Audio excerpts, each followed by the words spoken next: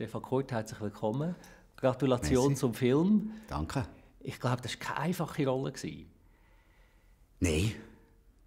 Äh, es war ein grosser Berg, aber äh, ich weiß noch, wo mich äh, Sabine hat gefragt ob ich, äh, sie mich sehen in diesem Film.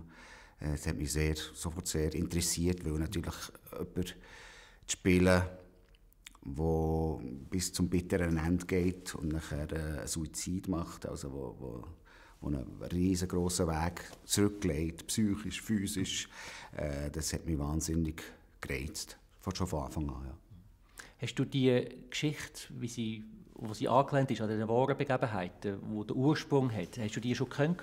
Nein, ich habe sie nicht gekannt. Das war für mich total Neuland. Äh, ich habe das nicht gewusst. Mhm.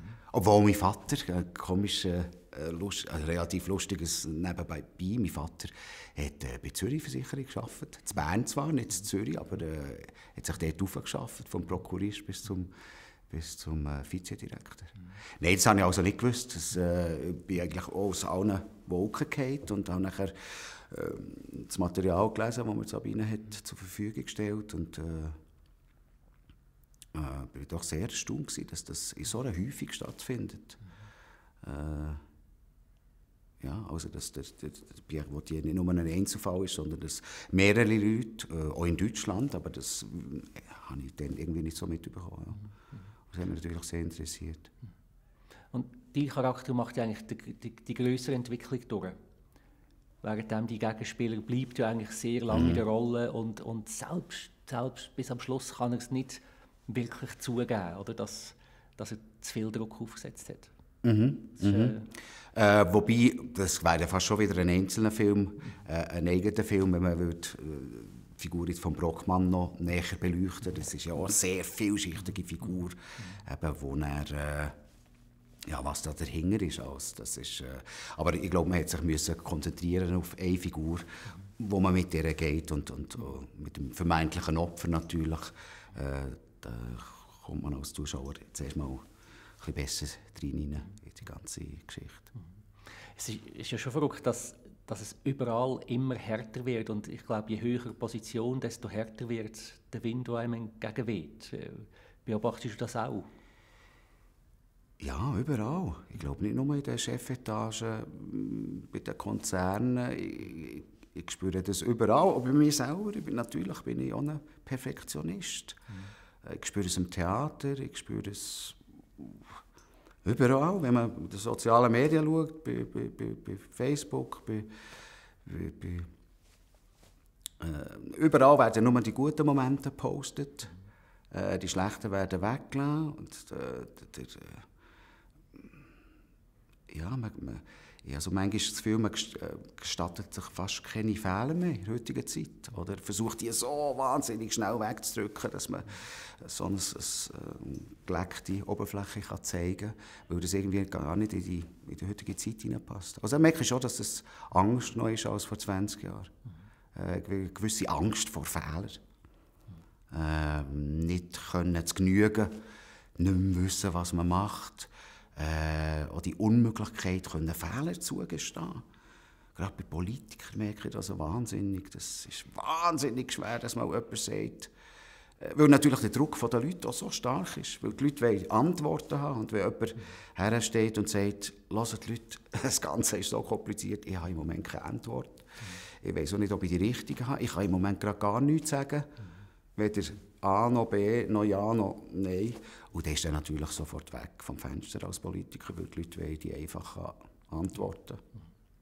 Und in der Nullzeit, wenn die Leute In der Nullzeit, genau. Was heute möglich ist von der Kommunikation her. Oder? Eben, sofort und jetzt. Und äh, es muss einfach sein, es darf nicht kompliziert sein, es muss äh, klare Richtung, wo man weiß, wo man dran ist. Und äh, wenn das nicht der Fall ist, dann ist es, ist es sehr schwierig. Ja. Du schaffst ja viel auch in Deutschland. Mhm. Du kennst beide Kulturen, beide Länder. Jetzt treffen hier aber zwei Kulturen aufeinander mit diesen zwei Charakteren, die wo, wo komplett verschieden sind, aus einer ganz anderen Welt kommen. Äh, wie, wie bist du an das angegangen? Weil der, der Brockmann kommt rein, weißt, selbstbewusst und, und die Schultern hinten und die Brust raus. Und du hast ja dann müssen den, den Gegenpol spielen. Mhm. Äh, wie, hast du dich irgendwie darauf vorbereitet oder haben die das geübt? Hat so die, Rehearsal gegeben, wie man ja sagt in, in Amerika?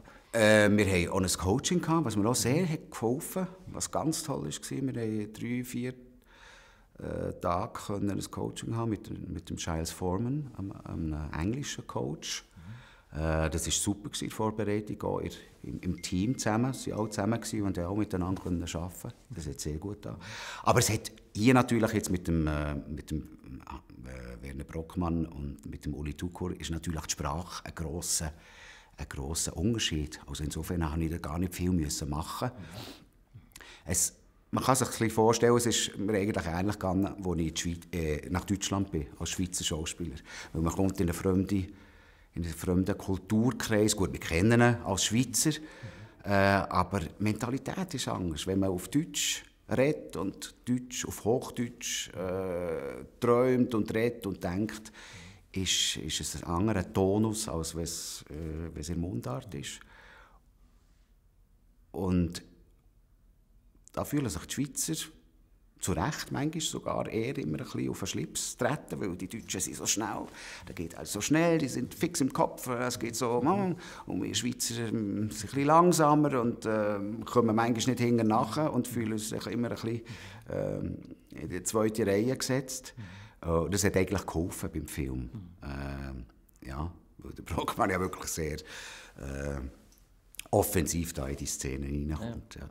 Mir ist in Sinn vom Gabriel Rotstift, die Nummer am Skilift. Ja. Wo die, die deutschen Touristen und Schweizer, ja, genau. die Einheimischen, oder? Und genau. sagen, bei uns geht das ruckzuck, zack, zack. Ja, ja, genau. Also guck, guck, ja. zack, zack. Genau. genau. Ja. Ja, ja. ja. Gut. Aber ist, ist, ich habe das Gefühl, ihr habt eine gute Chemie gefunden, zusammen das darzustellen. Ist, hast du das auch gespürt? Ja, doch, auf jeden Fall. Obwohl, eben, das, äh, wenn ich mit ihm zusammen spiele, wir reden ja beide Deutsch, äh, das ist... Äh, so in diesen Kreisen, dass man schnell die Sprache wechselt. Der Alexander Meyer hat sicher auch studiert in London oder in Paris, also der hätte jetzt auch Französisch können oder auf, auf Englisch. Äh, das wäre für ihn kein Problem gewesen.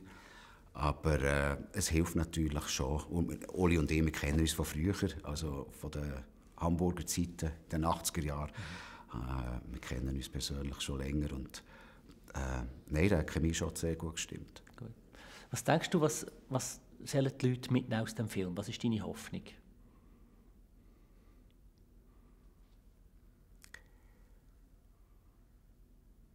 Das kann ich gar nicht sagen. Ich weiss, wenn ich ihn mir anschaue, zieht mir langsam rein in den Alexander Meyer und er, äh, er, er, er, er berührt mich und ich würde eigentlich sagen, Mensch, hör auf, mach die Augen auf, was, was ist das Problem? Also es kann doch nicht sein. Und ich merke, wie alles immer, wie der Fokus, das Gesichtsfeld wird immer enger, wird immer enger, wird enger. Ich sage, hey, wie in einem Albtraum möchte ich eigentlich zurufen, Mensch, wach auf, hör auf, oder künd, oder mach irgendetwas anderes, oder, oder bring die Eheordnung, oder mach irgendetwas, geh wandern, oder was auch immer, aber oh, ich merke, es wird immer, äh, ich komme selber in den Strudel rein, bis, bis es nachher zu dem Suizid kommt. Und das äh, ja, das fasziniert mich, da schaue ich gerne äh, gern zu. Oder mit einem Gruseln, wo ich merke, oh Gott, wie, wie, das so ein, wie tragisch das so ein Leben kann immer kleiner werden und auch immer sich eigentlich zurückziehen in sich selber, bis, bis, bis gar nichts mehr da ist. Also keine, ja. keine, keine Emotion mehr möglich ist und kein, kein Fenster mehr nach außen. Das ist alles nur noch eigentlich Wüste und abgestorben. Hast du noch ein, ein weiteres Filmprojekt äh, am Laufen? Also ich glaube, du bist jetzt in Deutschland auf der Bühne wieder, oder? Morgen ja, habe ich Premiere. Gut. Äh, mit einer Operette. Ja. Ja, Frühlingsstürme ja. heisst die. Das ist eine Operette, die ist verschollen war. Die ist nur einmal aufgeführt worden. In Berlin. Mhm. Äh, 1933. Äh, ist nach verboten worden von den Nazis.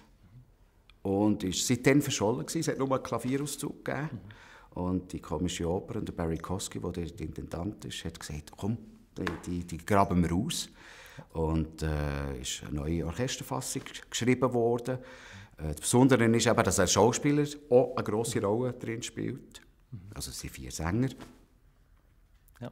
Äh, und ich. Und das ist ein, äh, sehr spannendes Projekt, sehr untypisch für eine Operette, weil es kommt kein Chor drin vor, es kommen zwar Tänzerinnen vor und wunderbare Melodien. Richard Tauber hat es dort dann zumal gesungen. Aber man spürt schon, dass schon die dunklen Wolken vor den Nazis schon im Anmarsch sind und darum hat die Operette so ganz eigenen Tonus. Ja, ich bin sehr gespannt. Und das Filmprojekt? Ein Filmprojekt äh, mache ich einen Tatort, äh, Berliner Tatort, nachher im April und im Mai und dann drehe ich wieder in die Schweiz. Mhm. Mit dem äh, Werner Schweizer zusammen machen wir ein Projekt, das heißt Flückiger, das Kinoprojekt. Da geht es äh, um äh, Kanton Jura. Und äh, ich weiß gar nicht, ob ich das schon sagen darf, aber äh, wir spielen einen Bundesrat. Gut. Und spielt er in welcher Zeit? Äh? Äh, wann war der Jura-Konflikt? Äh, Jura Libre? Äh, 70er. Mhm. Okay. So, der Ecke.